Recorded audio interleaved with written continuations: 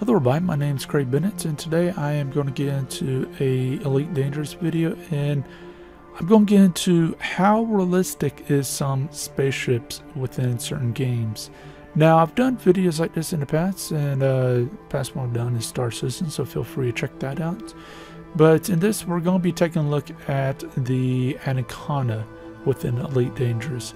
Now, one big thing I want to mention is this is one of the top of the tier ships you can get in this game. Not the top tier, but definitely up there. Um, now, as far as things goes, this is the size of something like a football field or maybe a little bit bigger. And it's very difficult for me to express uh, scale within this game because, you know, it's space and everything's huge. But the fact is, is I'm going to be focusing on can this thing really go from atmosphere to space, space to atmosphere, or is this only stuck in one or the other? Now, unfortunately, because how the game is, I cannot explore the inside of the of this ship. I, I, mean, I can probably take a look around the canvas and take a look at things and see how I would prove it for pilots and whatnot. But uh, other than that, you know, it's not like Star Citizen and some of the other games out there at this time. Now, um, for those of you who are wondering, um, yes, I do have a background in aerospace. I even been in newspapers multiple times, dealt with NASA, and so on, so on, so on. Gotten this in some past videos, but um, feel free to check that stuff out if you're interested. But with that, uh, like the uh, some of the other videos I, I'm be doing, one of the biggest focuses I'm going to get into is energy. How is energy transformed into the ship? So if we take a look at this real quick, being Star Citizen, it's actually easier to show this. So the first things first is where is the ship going? So normally it's going to go this direction.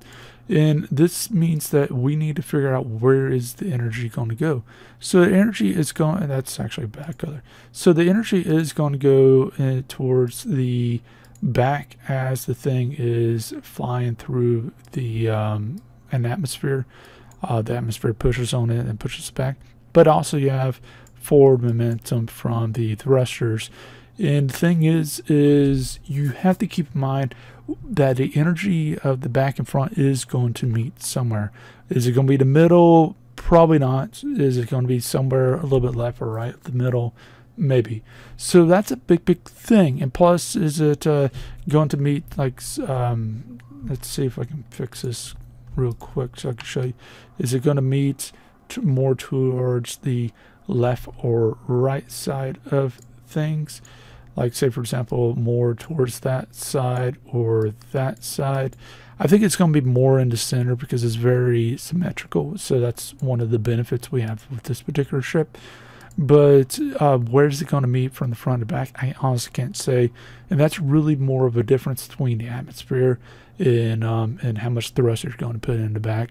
So it's also going to change that. So as far as things goes uh, you're trying to look for weak points, especially around the center part of it. And the fortunate thing is, is until we get more towards the back area, the uh, weak points don't really show up. So let's try to put this a little bit more into the light and we can see that we have energy bleed out uh, places. So what I mean by this is because I can't see the internal structure of the ship, uh, I have to assume that, let's just say, it's more or less solid. So where's the energy going to flow? It's going to flow towards the uh, edges more than anywhere else. Obviously, there's going to be some in the middle, but it's more towards that because energy flows to the weakest points, just like pretty much everything else. So what that means is you're going to have the energy bleed off point there, and as far as the energy that's going from here, um, it's going to bleed off in those areas too. Plus on this one, it's going to match up probably closer to here. Um, where's where's that one's going to match? So you're going to have two forces meeting right there, and will that hold up? Now, the interesting thing with this is if we uh, take a look at this, um, let me try to get in here and do a full stop. So if we take a look at this, is if we go to the bottom, we honestly don't have much of a bleed point down here. It's more of a rectangle right there. So it's more than less if we try to go to the other side, we can see that it's more into the wings itself. And this actually adds quite a bit of a benefit into itself, which is actually quite interesting. So what's going to up happening, I can't get any closer than this, but what's going to up happening is, um, if I can draw here, is basically we have energy coming from front there. It's going to meet somewhere around here. Energy coming from the back here and because the, this is hooked up not directly to, to stuff, it's going to be going more for here. So this energy is able to bypass it to some extent, and you're not going to really have a lot of cracking here. Now, one of the interesting things is, is because since this is uh, considered as part of the wing and not a part of the internal structure of the ship itself, you can have sacrificial material here. So what the what does that mean? Let's say, for example, you have two energy forces, one from the front, one from the back, and then in the middle you got sacrifice uh, of uh, material. This means that as the two energies uh, push together, you can have something in the middle where it actually crushes it on purpose so it bleeds out energy at that point without ha having energy travel to another spot.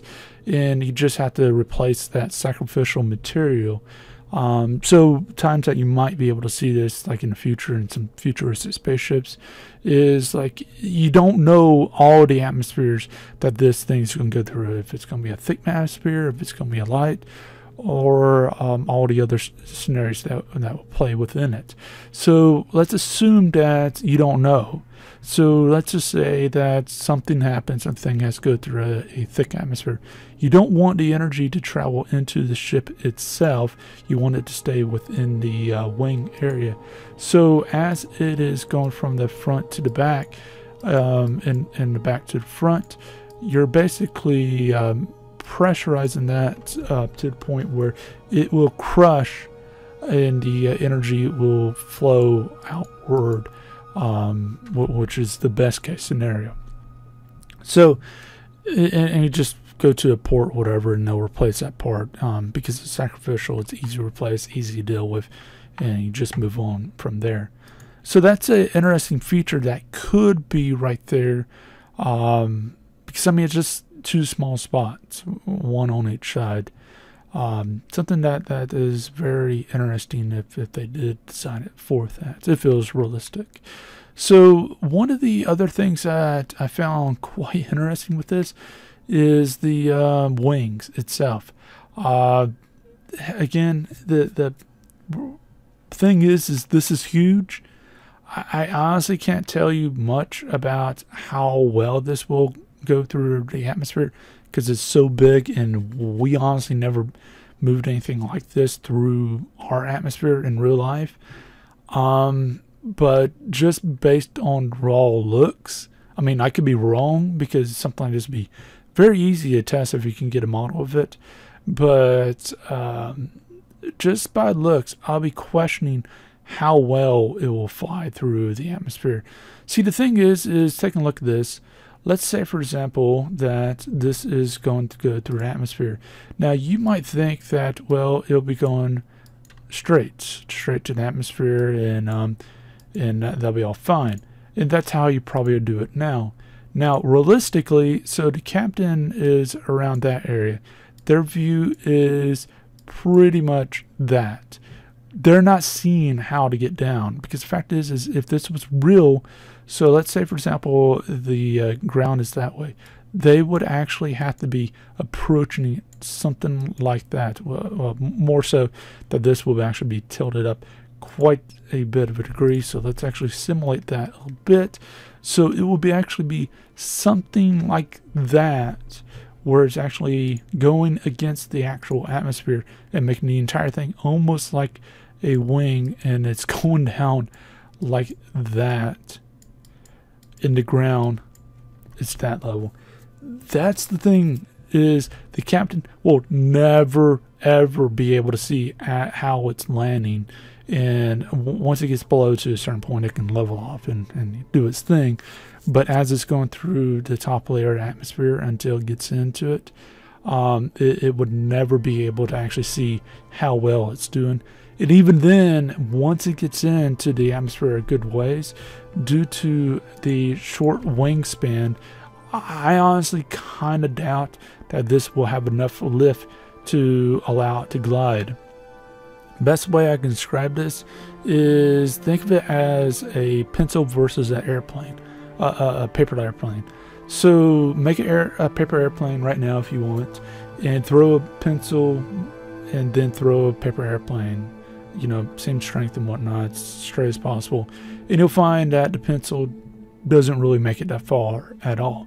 Well, if you take a look at the wingspan of this, this is pretty much a pencil and what it needs to be is an, is an paper airplane. Honestly, I would think that the I, I could be wrong again, but based on raw looks, because you know I don't have any software to throw one of these ships in, or don't have a physical model of it to throw it into a wind tunnel.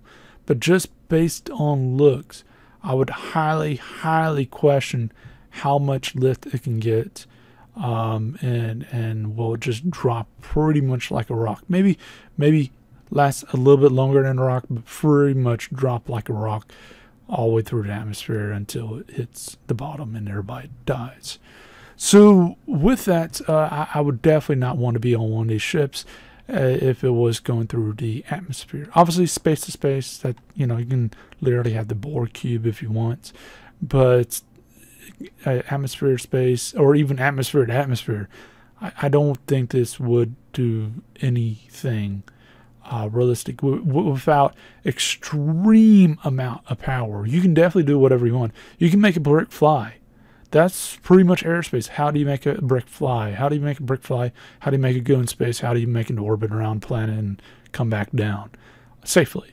Well, yeah, you can uh, throw a crap ton of fuel behind it, which you know happens all the time in space industry, but this is going to be making regular trips, hopefully, to the ground.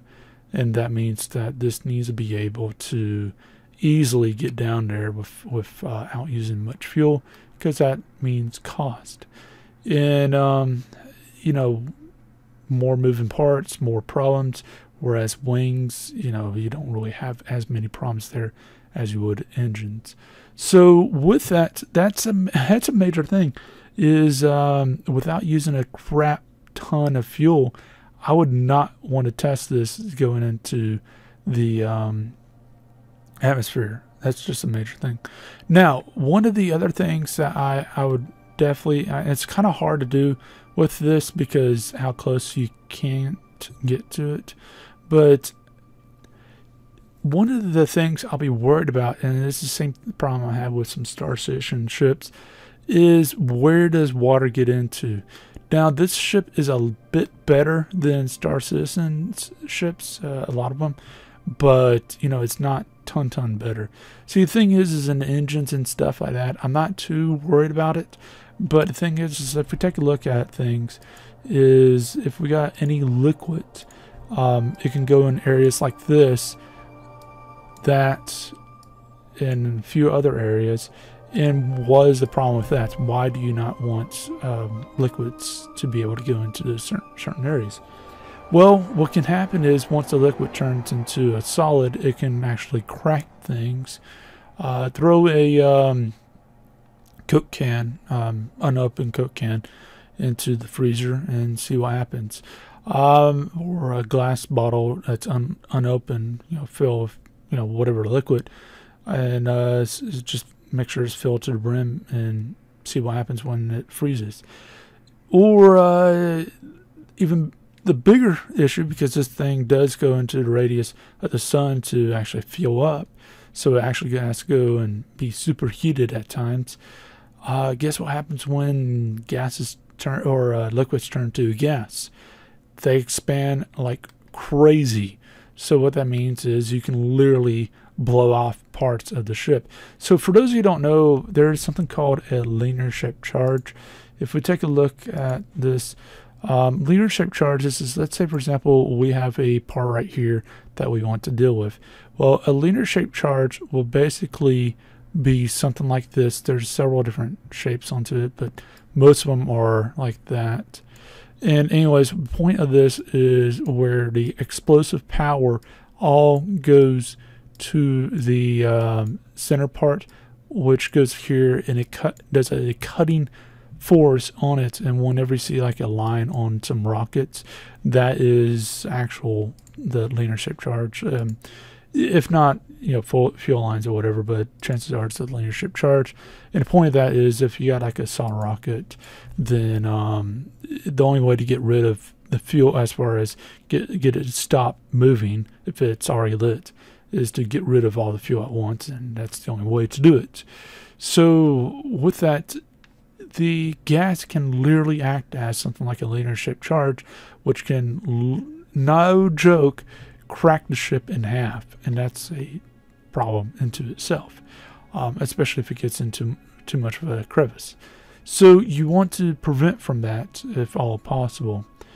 So with that, um, there is problems like you would see in some other space games, but a lot less on, on here, believe it or not. Um, but still, this is enough of a problems that I would be worried about. Now, you might be worried about, okay, what about in the future where you got space or exploration? Is that going to keep us from exploring any um, gas or, or water planets? What the fact is, is no, what, what you can do is around the doors, like right here, you can actually create a heater along the edges, and that would actually um, keep the um, gas from turning to a liquid or turn to uh, whatever, or, a liquid from turning to whatever, depending on what the chemical is, and uh, that will keep the problem from happening. So I mean, you got what you got, and you just got to clean it out, but it will just, you know, maintain whatever it is, depending on the chemical. So the, the, there's things you can do about that, and like I said, with engines, I'm not as worried about that because they kind of stay hot as is. Um, some of the areas I probably wouldn't worry too much about it, but as far as some of these other areas, especially with the electronics and pipes exposed and all the other stuff like that, those are the prime targets for something like that to happen, and bad crap happens very fast. Obviously, if something is staying in space all the time, this will be less of a problem.